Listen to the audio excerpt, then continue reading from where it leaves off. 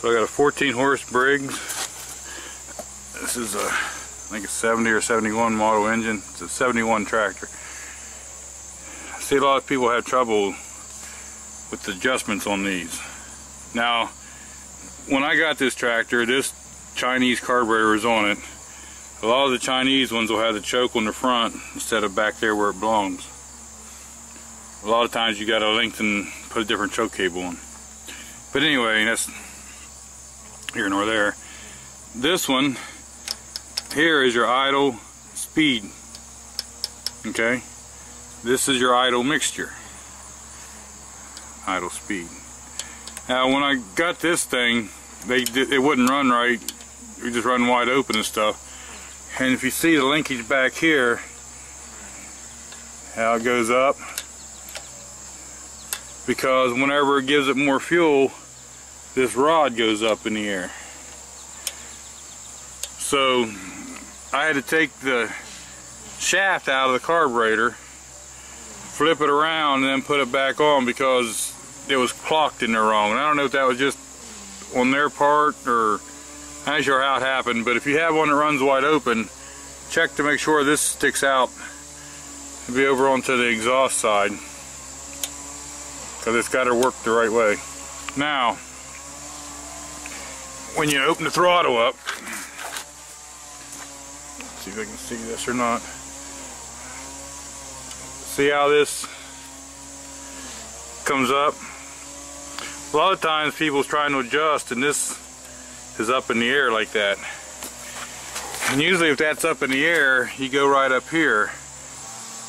Okay, that nut's sticking up in the air now, but just say if that nut was all the way down onto this piece of metal and you had this, it wouldn't go all the way closed. You would loosen this top nut. And the idea is that whenever you let off the throttle, hope you can see this.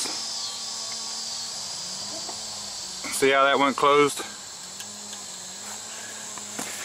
Now if it's not going closed, usually it's because this top nut right here. Okay, here's another thing. Just say I got this nut and it's sticking all the way up, not touching that, and this isn't going all the way down, then I would loosen this one and tighten this one and draw more cable so it could push that governor rod down farther. So in a way, it's kind of simple because this is your low speed, this is your high speed, and this is your curb idle. Okay? So you want to adjust your idle off of this, but if it doesn't go closed when you do the throttle down, you'll have to loosen this nut up until it happens down here. And if it starts getting a gap because you don't have enough adjustment here, then you got to adjust that cable down. See where it kind of hooks in together right there. I don't know if you guys can see or not. See how the cable hooks into the rod? When on that governor, on the 14s, you got two springs. I don't know if you can see that. But anyway, that's just kind of a real quick thing about um, adjusting these this is your idle mixture. I find usually about one turn out works pretty well. Um, you may or may not have that with yours. Sometimes when you're giving it gas and it stumbles or smokes or whatever, if you've done all the adjustment you can do here, sometimes you have to adjust this in or out. And usually I found that if I'm more than a turn and a half out on mine, it doesn't, it like smokes when I try to give it fuel and stuff off of idle. Now this one here, you want to get the tractor warm.